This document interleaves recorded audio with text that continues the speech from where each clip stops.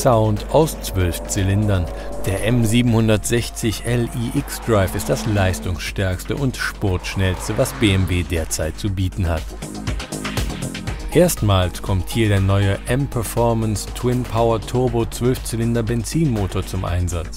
Aus 6,6 Litern Hubraum schöpft er 610 PS.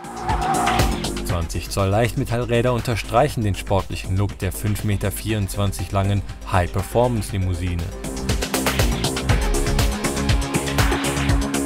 Eine neue M-Sport-Abgasanlage mit Klappensteuerung sorgt für einen emotionalen V12-Sound. Ab 1500 Umdrehungen steht ein maximales Drehmoment von 800 Newtonmeter zur Verfügung. Naturgemäß hat das Spitzenmodell viele technische Highlights, aber zwei, die ich nur hervorheben möchte. Der neue V12-Motor mit mehr Hubraum, mit neuem Turbolader, neuen Pleueln, neuen Kolben, neuer Motorsteuerung, neuem Einspritzsystem.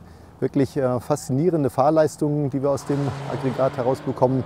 Und als zweites auch für die Fahrdynamik sehr wichtig, aber auch für den Komfort, den ein BMW 7er Kunde erwartet, das innovative Executive Drive Pro Fahrwerk inklusive Wankstabilisierung und in Verbindung mit der Integralaktivlenkung. DTM-Rennfahrer Augusto Farfus nimmt für uns den rund 167.000 Euro teuren M760 Li auf der Rennstrecke von Palm Springs unter die Lupe.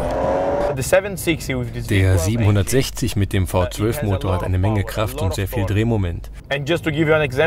Zum Vergleich, von 0 auf 100 km pro Stunde braucht mein DTM-Auto 3, 3,1 Sekunden around 3 seconds, 3.1 seconds.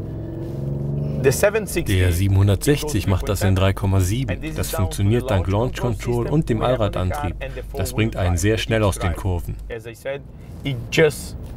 managed to pull you very fast out of the corners. It is fantastic.